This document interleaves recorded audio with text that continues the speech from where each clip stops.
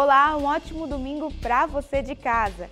Pancadas de chuva são esperadas principalmente no Paraná e sul do Mato Grosso do Sul, onde serão registrados os maiores acumulados, entre 40 e 80 milímetros. O potencial para transtornos é grande ainda no norte paranaense, tanto nas cidades como no campo. Chuvas expressivas e acompanhadas por ventos, raios e queda de granizo podem atingir todo o estado de São Paulo e metade sul de Minas Gerais neste domingo. No Mato Grosso e em Goiás, assim como em áreas da região norte, são esperadas chuvas rápidas intercaladas com períodos de melhoria, enquanto que em praticamente todo o Nordeste o tempo continua completamente seco e ensolarado. A máxima prevista é de 30 graus em Concórdia, 31 em Diamantina, 41 em Confresa, 37 em Envira e 30 graus em Macaíba.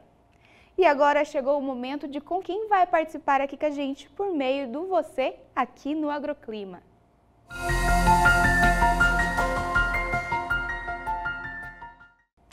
Hoje a previsão do tempo vai para o Paulo Rodrigues. E olha só o que ele mandou aqui para gente.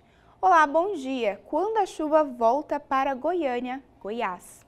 Olha, Paulo, por aí a previsão para os próximos 30 dias é de poucos episódios de chuva que juntos devem somar apenas 53 milímetros. Na maior parte do mês de novembro, o tempo firme vai predominar na capital Goiânia. E essa outra previsão aqui vai para Alci Rodrigues. Vamos conferir a mensagem dele para gente?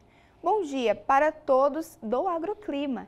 Gostaria de saber quando começa a chover aqui no meu município de Lagoa do Barro, do Piauí. Bom, na sua cidade, as chuvas devem retornar apenas em dezembro, e isso na segunda metade do mês. São esperados pouco mais de 280 milímetros de precipitação em uma janela de 30 dias.